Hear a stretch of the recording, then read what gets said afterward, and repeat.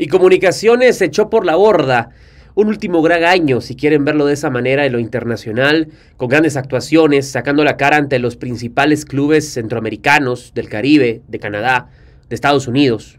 Solo faltó que Comunicaciones sacara la cara ante los clubes mexicanos, pero no se los topó. Eh, tiró por la borda el gran partido que hicieron en el Cuscatlán contra Once Deportivo, tiró por la borda la gran serie ante Alianza, el múltiple, campeón salvadoreño y gran dominador de, de, la última década en el fútbol cuscatleco, tiró por la borda el gran partido de Santis en el Ricardo Saprissa, tiró por la borda el gol de Anangonó con el que avanzaron a las semifinales eh, continentales hace un año y, meses. Tiró por la borda la semifinal eh, nacional a nivel internacional ante Guastatoya, donde los cremas se metieron por primera vez en tantas décadas a una final internacional y por supuesto tiró por la borda el triunfo en Tegucigalpa y la posterior remontada en la zona 5 para el título de CONCACAF. También tiró por la borda el gran partido ante Colorado Rapids, la heroica de Moscoso, eh, el buen partido que habían hecho en Connecticut, si no recuerdo mal, ante New York City, la posible remontada que se quedó imposible ante New York City acá en el Doroteo Amuch Flores. Todo eso, imagínense, que pasó en el último año en el plano internacional para los cremas, que hoy celebraban su aniversario número 73 con un nuevo uniforme, ese bonito uniforme Kelme que le fabricaron desde España, donde quiera que sea.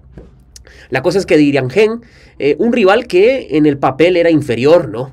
Eh, se menciona siempre que el fútbol nicaragüense está muy lejos de la realidad guatemalteca, de la realidad del, fútbol nacional. Lo cierto es que ya no tanto, ya no está lejos, yo creo que ya está o un escalón abajo o muy igual, porque a nivel de selección nacional Nicaragua ha venido a hacer buenos partidos, le ha sacado empates y triunfos en los últimos 15 años a Guatemala, y a nivel de clubes, a pesar de que no se les había enfrentado ni los Cremas, ni los Rojos, ni Guastatoya, ni Antigua, que son los equipos que regularmente juegan este tipo de torneos en los últimos años, no les había tocado enfrentar a un equipo nicaragüense. El último gran rival eh, de un equipo Nica había sido el Suchitepeques. ¿Se acuerdan aquel Suchi de 2016? Que sí que se instaló en la Liga de Campeones de CONCACAF y estuvo a un pelito de clasificar a la siguiente ronda, pero fue goleado por el Dallas.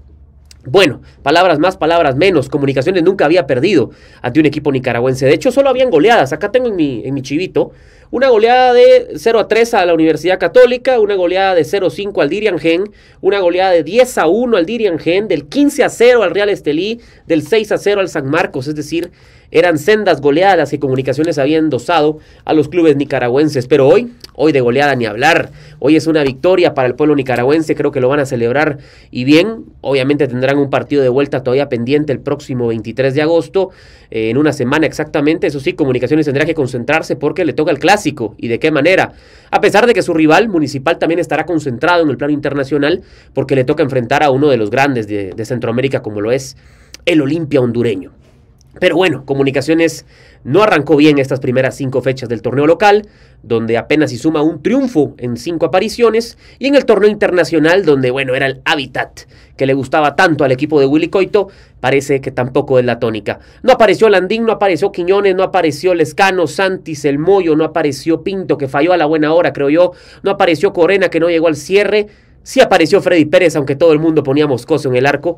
Creo que es un mensaje también que viene eh, cifrado, ¿no? El, mensaje de que Moscoso, pues, no cuenta para eh, Willy Coito y su cuerpo técnico. Creo que el guardameta va a seguir siendo Pérez, salvo novedad en los próximos días o semanas.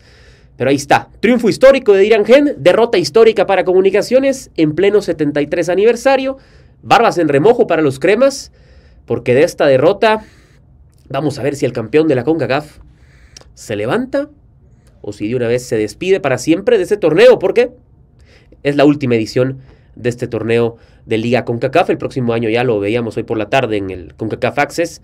Van a ser la Copa Centroamericana de la CONCACAF.